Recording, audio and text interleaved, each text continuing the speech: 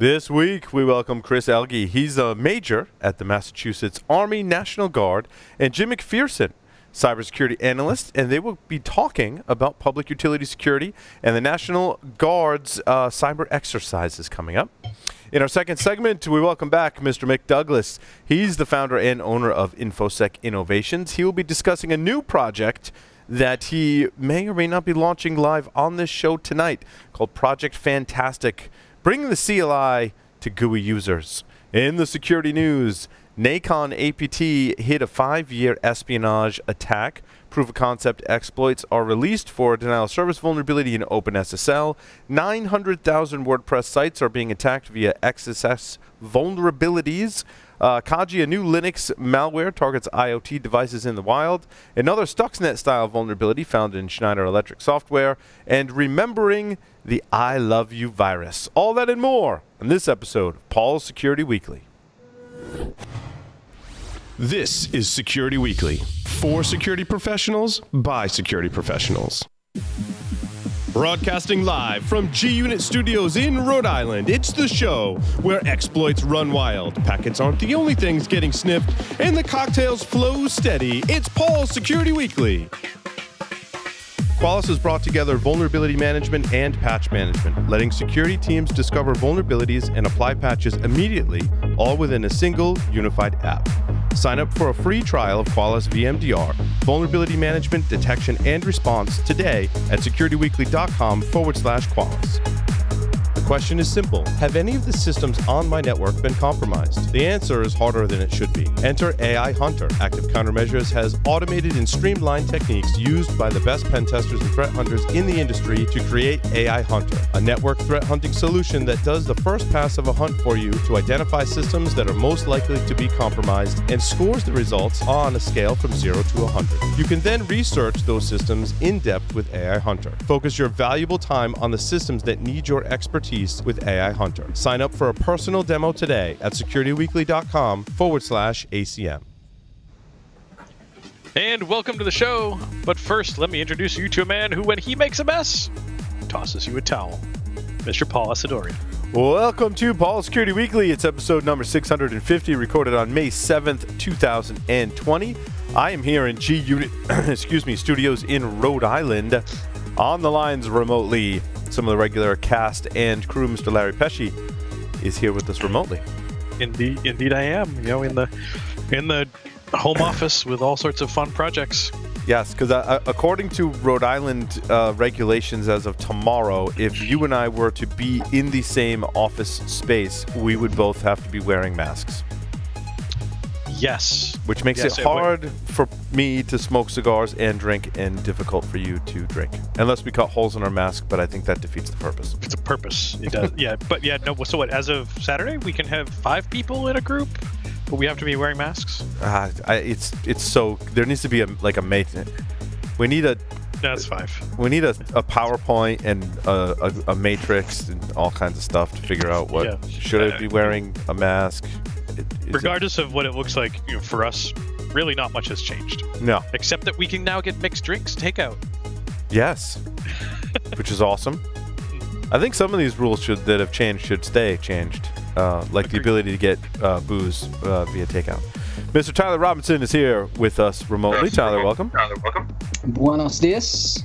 Tyler, you're at Tyler, you're, at you're at five percent. There's an echo. There's an echo. But uh, I know, five percent again. It's not. It's not good. It's not. It's not going up. Not going up. That sounds like a personal problem. Mr. Jeff Man is here with us. Jeff, welcome. Greetings as always, Paul. I have to ask, uh, and I hesitate to bring it up because it will defeat the scientific experiment. But how many weeks in a row is that beer bottle going to sit on that table next to you? It's actually a different beer every week. It's funny you say yeah, that. I swear that's the exact same bottle that was there last week. There is no one I mean, else. the same brand. Yes, no one else is drinking, and I think there might have been a six pack of these, and so every okay. week I, I open up a new one. So it's I in mean, fact okay. fresh beer. All right, let me see. It's new. Take a drink. It is, and don't. It's brand spanking new. It's still cold. mm. All right. Mm.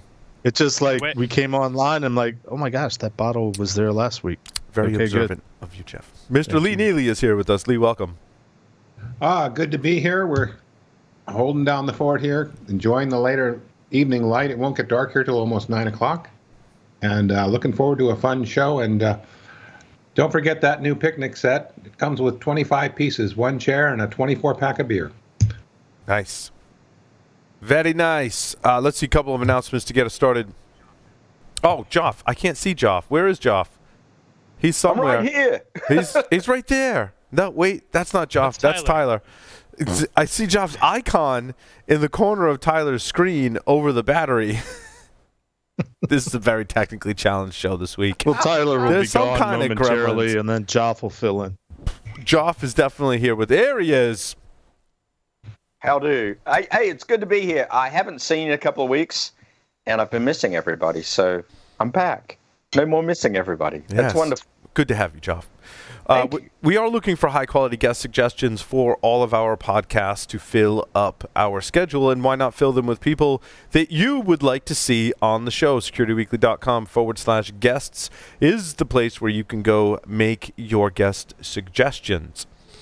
Uh, Chris Elgee is here with us. He is a core NetWars tournament design lead and penetration tester. He does hacking challenges and all kinds of fun stuff uh, and is also uh, in the National Guard uh, and involved with their cyber exercises as well. Chris, welcome. Thanks, Paul. Glad to be back on. Yes, nice to have you, Chris. Uh, Jim McPherson is here with us. He is a cybersecurity expert with over 15 years of experience and is also involved in the same cyber exercises with Chris. Jim, welcome. How you doing? Glad to be here. Doing fantastic. I have uh, booze and cigars and wonderful guests and hosts to kick off the show. Um, so uh, let's talk about um, the set the stage for us and talk about the uh, cyber exercise uh, that you are both involved in. Yeah, so every year we do this exercise called Cyber Yankee, and it's a kind of a, a fun little regional thing that we do between the National Guard and different uh, civilian stakeholders, uh, people like Jim involved in, in, in the utility sector and it lets us um, do a couple of things like one it lets us kind of practice some of our cyber capabilities but also it lets us build some of the relationships that are really the important piece uh, that we would need going into any any actual disaster where where the government is supporting uh, any kind of private entity or critical infrastructure there are a lot of CTFs out there, as I'm noticing. capture the flag exercises, cyber exercises, cyber ranges, uh, cyber labs. Um, what what makes this event uh, different and and special in its own unique way? I think I'll, I'll, throw it to Jim in just a second, but I think for me, what makes it different is is for one, it's it's an actual red on blue thing where where usually I'm in the in the red cell with some you know maybe a couple dozen operators, and we're we're attacking this virtual range that that people like Jim are, are watching and, and defending. Um, that's a big piece of it, and the other piece is just is just that there are so many different uh, people in the room. Where a lot of times CTFs you know you got your little teams here and there, but people don't have to work together like they do in something like this. Uh, what, do, what do you think, Jim? Yeah, um, so I really I'm not a big um, you know CTF blue um, like red team guy. i have always been more of the the blue team stuff, and and I think this brings this di- a different aspect where you've got um, you know your your regular you know red team cell trying to hack into um, you know the the blue team's computers, which are being defended by actual people. Um, however, this brings into account some other things like um, the industry partners, which we play in in in a in this exercise Cyber Yankee. So we try and bring some realism, as if you're going to come to a business. You know, um, there isn't like a, you know, we still have regulations that you have to man- maintain. We still have change management that has to be um, take into account for. You know, we still have management that has to be informed. So we make sure that those channels stay open, communicating with the people trying to defend the organization, forcing them to explain to us what's being attacked, how it's being attacked, why is that bad for us. Um, we also then, you know, play onto them certain things like these things have to be maintained, regardless of what it is. You've got to keep this up. You know, say for example, uh, somebody gets attacked and they get into your VPN. Well, if VPN is critical, we say fix it, you know, secure it, but that has to stay up. You know, the website has to stay up. We have core business functions that have to be there. Um, so it just kind of brings a different aspect to your normal CTF challenge. It sounds very similar to uh, the CCDC competitions that take place in the various regions. Yeah, it has a lot of the same pieces. Absolutely. Are there, are there differences? I mean, other than the people playing are older than college student age. I, I mean, on a technical aspect, I don't, I don't think they're they're that terribly different. I haven't been personally involved in CCDC, but I have some friends uh, who have been. Um, I, again, I think it's going to be that, you know, with CCDC or with like a NetWars tournament, you know, you get your own teams that you get to put together. Uh, but with this, we, we bring others uh, into the room, and you've got to kind of meet people and, and uh, you know shake hands, or I guess you know distance high five maybe this year. Mm. So, I had a question. Go ahead, Lee. How, how, how are you determining who's red and who's blue? That's a great question. So the default for everybody is is blue, right? Like we want to have, if we have, you know, say the New Hampshire National Guards, um, you know, um, computer uh, computer team come, like they're by default going to be a blue team. Uh, but if they maybe don't have enough people or they have some extra people, then overflow usually ends up in red. Uh, or sometimes we'll get people from from the outside. Like this year, I think we're getting some people out of the Marine Corps Reserve to do uh, the red cell functions for us. But um, you know, there aren't many people in the military, especially in the National Guard, whose job it is to do something offensive. Um, so so whenever we can train blue, we, we try to just fall to that. And is it, is it mostly National Guard folks that are attending? Like, what what are the various uh, kind of groups that would participate in this type of event? Yeah, gosh, it's probably maybe sixty percent Air and Army National Guard, and then we get a few, you know, maybe Navy Reserve, Marine Corps Reserve, something like that. Uh, and then a good chunk of civilians. We had people from um, Portsmouth Naval Shipyard last year. People like people like Jim, uh, and a lot of civilian law enforcement. We actually had um, one of the intel guys like get arrested by a you know a state trooper or something in the middle of an exercise because you know he was he was oh. physically playing the bad guy. Mm. But but it's a great uh, you know I think situation because it's not uh, uh when we do this in CCDC uh, oftentimes right in similar kinds of exercises, it's usually that you're defending uh, some type of corporate entity right.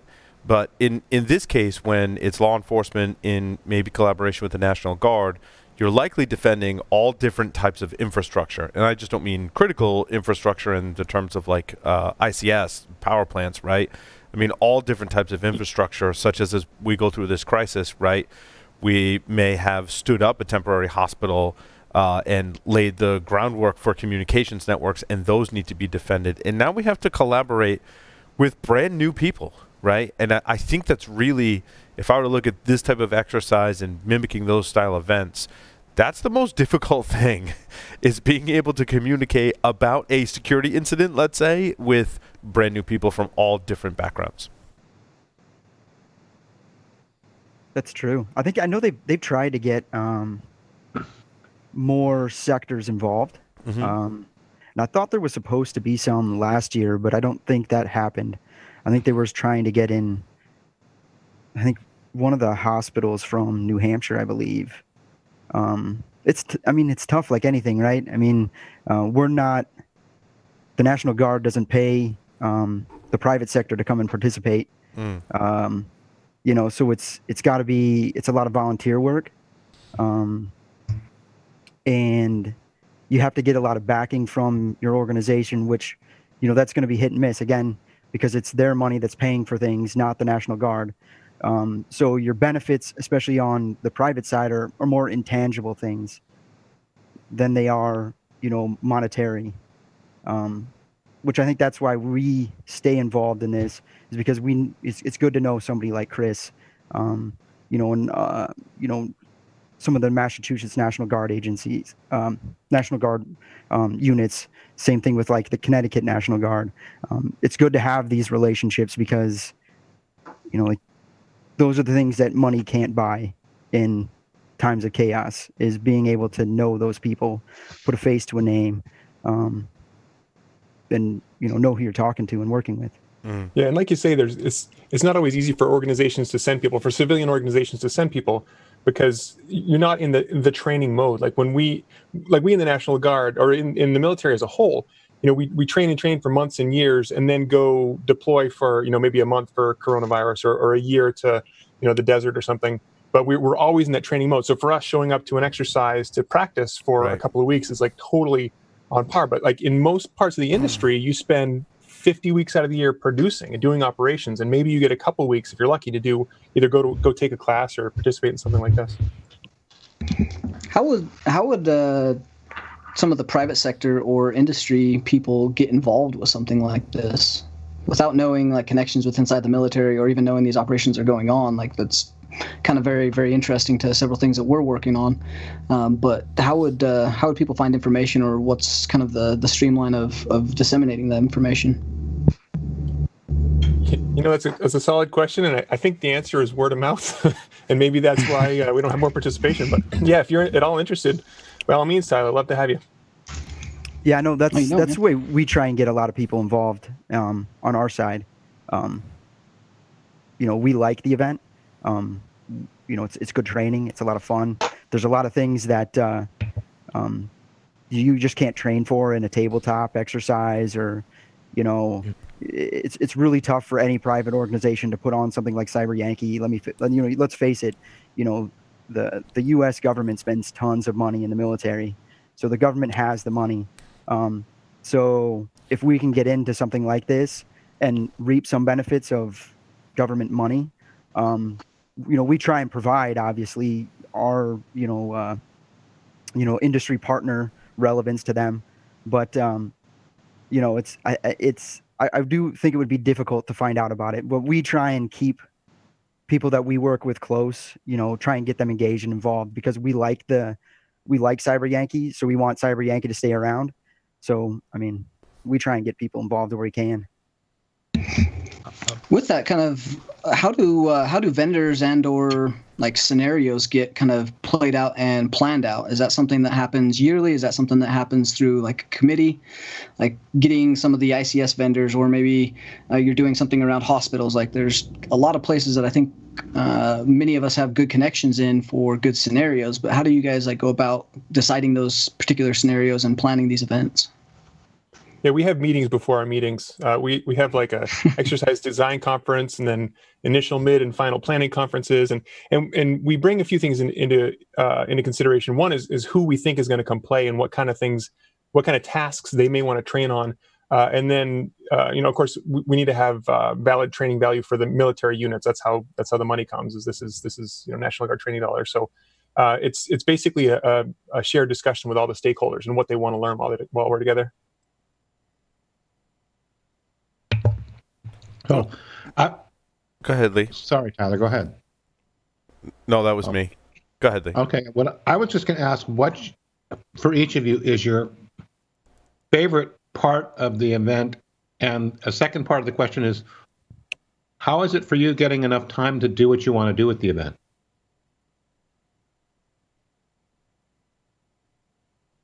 You want to go first?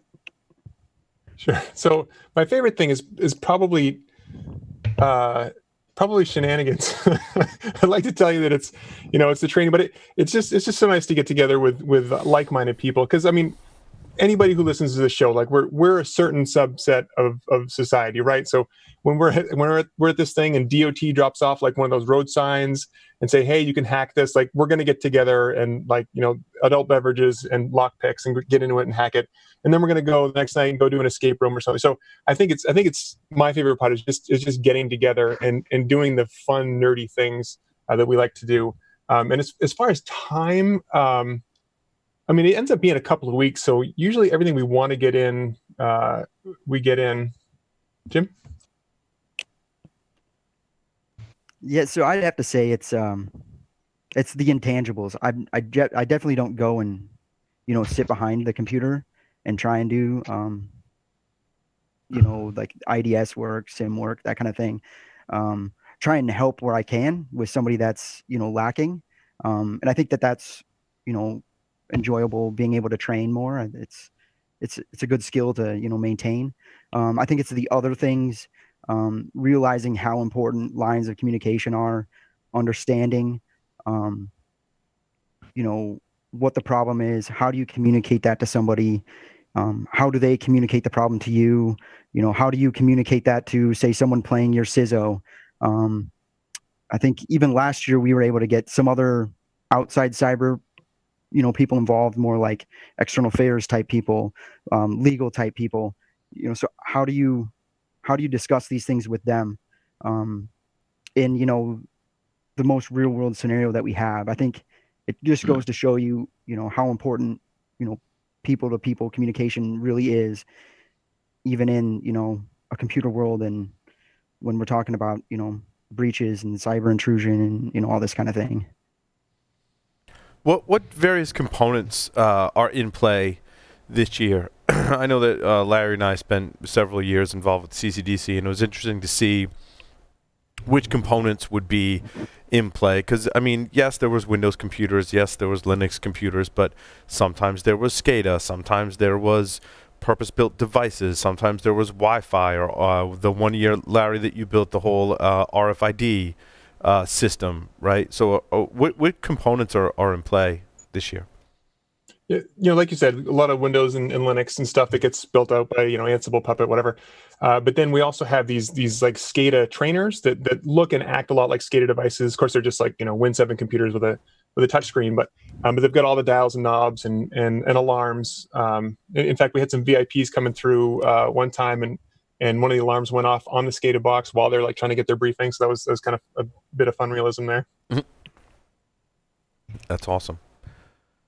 Um, what what other uh, groups uh, are either portrayed by actors, right, or actually there? Uh, they would have to communicate. Can you give me like a uh, a scenario? Yeah, so you know we, we might have something where um, you know we'll have maybe we'll have each blue team they'll they'll have like a fictional um, uh, organization they're defending, like uh, we'll call it you know Yankee Power or Yankee Water or whatever, and then uh, and then in that room they've got somebody like like jim acting as the network owner because you know we the national guard don't take over your network in an emergency. We're, we're guests there. So whenever we want to do things we have to clear through them. So, so let's say one of our analysts finds something uh, then you know the group will discuss it vet it out uh, and then maybe recommend an action to to somebody like jim. And then he's going to you know make a decision about whether or not he wants to, to shut that firewall port or if his you know ceo still needs to access that that way. Um, and then uh, if we get to a point where um, you know where the team thinks that they can actually attribute this to somebody and they've got the the breadcrumbs to follow back, then they can actually call uh, the state police and and then they'll get involved and we have FBI partners there and maybe they'll they'll share share some of this you know fictional analysis, fictional intelligence about about the whole thing and then and then activate from top to bottom from the federal down to the the local level um, the whole law enforcement chain and then you know do a do an arrest or do an array do a raid whether that's whether that's notional or actually you know the one time we we put the uh, the intel chief in cuffs. Um he's this adorable like 55 year old guy. Yeah um, but yeah we can use all, all kinds of different pieces together and, and, and exercise those those uh, those channels of communication. Yeah i think the uh, the mock arrests are some of the more uh, kind of sensational things that happen uh, that are really fun uh, in those in those events. Uh, we've done similar stuff at, at ccdc um, what how, how do we get uh, commercial security vendors involved? Um, you know I, I, I have a lot of relationships with a lot of security vendors. Obviously we work with several of them here at security weekly and oftentimes there will be uh, local state uh, government or I mean, basically community resources, right? Uh, whether it's a water plant or whether it's, you know, some a nonprofit that is making available some service on the web uh, that that is part of the the offerings in the state. You know, like we have, a, I think it's Health Source RI, right, in Rhode Island. Just as not that they were ha- just as an example, right. So there's lots of different pieces of infrastructure that, based on the climate, could be attacked in various different ways at the time. And these, a lot of the nonprofits and state and local governments may not have even just the connections or the resources to be able to defend those resources, uh, those, uh, defend themselves from those attacks there are commercial vendors that would be willing to help, right? Either free or discounted uh, products is is kind of what I, what I'm hearing with this latest crisis, right? And we've seen examples of that. Uh, how do we um, bridge that gap and, and like basically play matchmaker uh, between these two groups? Yeah, I mean, as far as bringing them to the exercise, like that's that's relatively easy. If they if they hear about it and they talk to us and they've got mm-hmm. the the manpower to spare for you know a week or two, then uh, then in, in most cases we're happy to bring them in. Um, as as far as like assistance on the outside, like we have, uh, there are some mechanisms where the, the National Guard can go out and like do a security assessment for a town. Uh, but it's it's like legally it's new territory, and the lawyers, the JAGs, are still kind of like weird about it. Mhm. Uh, but there are mechanisms for us to do that. But like you say, there are a lot of private vendors around, and we can't we can't compete with you know local security vendor. Uh, we, we can't try to like undercut them by hey, we're going to come in for free and then take the business away from somebody else. So it gets kind of tricky for us to do that kind of outside of emergency uh, support. So that's why you know our default is usually these types of exercises because this is something that's that's easy to do. It's not something that someone's going to say, hey, you know, I was going to offer a contract to local water company to uh, to run an exercise. Right? That's just that that's just not a thing. So What about um, commercial, tends like um, commercial defensive products, right? Like someone's under attack in some certain way. I mean, there's a list of vendors that could help with that product, uh, that uh, problem, right? Uh, and you know, maybe there's some kind of matrix or something that we build to, to help make those connections, right? Yeah, maybe so. And I'm not I'm not sure that that's something the uh, the military needs to have a role in. Well, if they can come to the exercise, right, make those connections. I guess it's kind of a call to the commercial vendors if you're willing to have them, right? Because this is something that I think CCDC was very, uh, very much wanted to regulate. Um, you know, putting commercial products in play, right? We get into this type of scenario if a commercial product can help.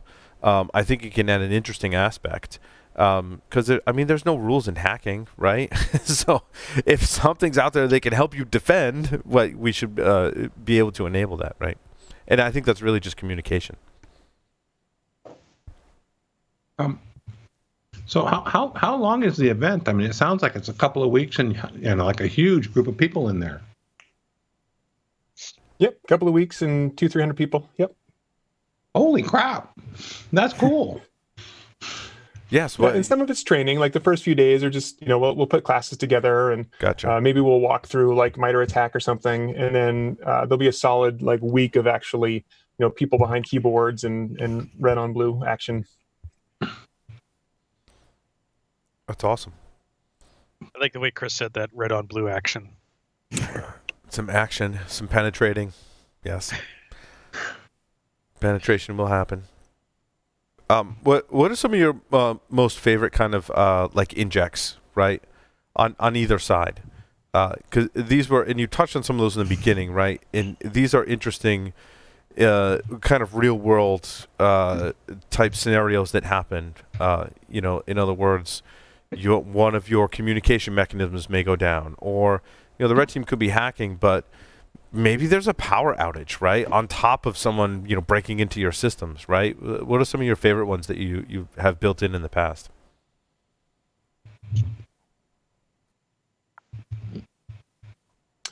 I don't know if Jim wanted to take a crack at that. Um, I, you know what? Um, this was actually the first year I was going to be involved in some of the more um, some of the planning conferences, but they generally do those. Um, they generally are split. So you know, if you're white cell, when you go to the the conference, you go to white cell. If you're blue cell, you go to blue cell. If you're red cell, you go to red cell. Um, I could say that some of my more favorite injects are the ones where the red team isn't successful, so they like uh, inject a fire alarm and make everybody go out so they can uh, plant malware or um, you know all those last minute ones um, uh, or i think and i think that one was because somebody messed up uh, the firewall configuration or something like that so they had to get back in and reset everything so they forced everybody out of the building so they could reset firewalls bring everybody back in and then all of a sudden 50 users clicked on uh, Meterpreter malware or whatever and all the boxes were owned i think Yeah. those are the good ones yeah, you and a lot of times like blue will knock themselves offline, right? Yes. They'll they'll be trying to configure their own firewall, and they'll they'll lock themselves out completely, and then you know they're they're calling in like, oh, you know, we got we got hosed, we got taken offline, we can't play anymore, and we're like, we didn't we didn't do anything. Awesome. So, how do people get involved uh, with this with this event? Are you open to the public getting involved, or various people, or gaining more exposure, or if you want to tell our friends uh, that are either you know on the red or the blue, or government or infrastructure or whatever? Like, how do people get involved? Yeah, honestly, just uh, just reach out. They can reach out to me or or to uh, other people in the. Uh, uh, involved in the exercise, and we can we can uh, loop you in if you're the right uh, if you're the right person. I, I'm you know you were talking about security vendors. I, I'm not sure how that works out. If that comes off as kind of like, you know, commercially selly, then then the JAGs might get all all upset again. But Um, but yeah, if, if somebody's working for a local town, for a utility, for, for anybody where it makes sense, right? Who people who we would be working with in a in an emergency, uh, then there's there's room. So just yeah, reach out and we'll we'll have the talk. Awesome. Fantastic. Well, Chris and Jim, thank you so much for appearing on Paul Security Weekly. It's nice having you. Thank you. Thanks for having us. And with that, take a short break. Come back with Mick Douglas to learn about turning the CLI into a GUI.